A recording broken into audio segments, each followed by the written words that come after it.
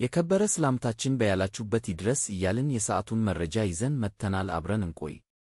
ዛሬ ይዘንላችሁ የመጣነው ለሞባይል ተጠቃሚዎች የጥንቃቄ መልእክት ነው።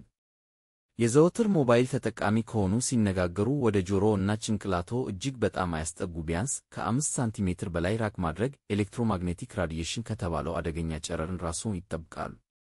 ሞባይልዎን ታቅፈው አይተኙ። በእንቅልፍ ወቅት ባትሪውን ያጥፉ ወይም ከአልጋው 1.8 ሜትር ያርቁት።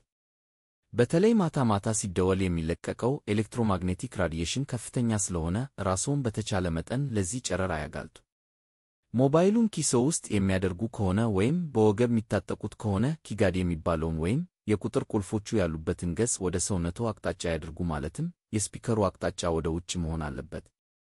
ምክንያቱም ስልክ ሲደወል ጨረሩ በስፒከሩ በኩል ስለሚለቀቅ ወደ ሰውነት ሳይሆን ወደ አየሩ ይበተናል። ጨረሩ ወደ ሰውነት የመግባት ዕድሉ አነስተኛ ነው። ጠረጴዛ፣ አልጋ፣ ወንበር ወዘተ ላይ ሲያስቀምጡትም ስፒከሩ ወደ መሬት አቅጣጫ፣ ቁጥሩ ደግሞ ወደ ላይ ይሁን።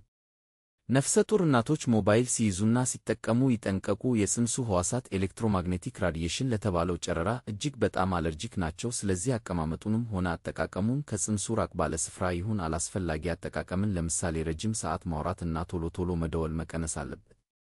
ብረት ነክ ነገሮች ባሉበት ስፍራ ሞባይል አይጠቀሙ። ብረት የ electromagnetic radiation ኡን ወይም የጨረሩን ጉልበት ያጠነክረዋል። ስለዚህ መኪና ውስጥ፣ አውሮፕላን ውስጥ፣ ሊፍት ውስጥ፣ ባቡር ውስጥ፣ ብረት አጥር ወይም በር አካባቢ፣ የብረታ ብረት ወርክሾፕ ውስጥ፣ ጋራጅ ውስጥ በመሳሰሉት ስፍራዎች አስቸኳይ ወይም አጣዳፊ ጉዳይ ካልሆነ በስተቀር በተቻለ መጠን ሞባይል አይጠቀሙ። የሚጠቀሙ ከሆነ ላጭቀ በተለይ በተለይ ዕድሜያቸው ከአስራ አምስት ዓመት በታች የሆኑ ወጣት ልጆች ሞባይልን ባይጠቀሙ ወይም ባያዘወትሩ ይሻላል። ጨረሩ የጭንቅላት አጥንቶቻቸውን በቀላሉ ማለፍ ስለሚችሉ የአንጎል ሴሎቻቸውን እጅግ በጣም የመጉዳት አቅም ያገኛሉ። ይህ ደግሞ ከነርቭ መታወክ ጀምሮ እስከ ካንሰር ድረስ ላሉ አደገኛ ስንክሳሮች ያጋልጣቸዋል።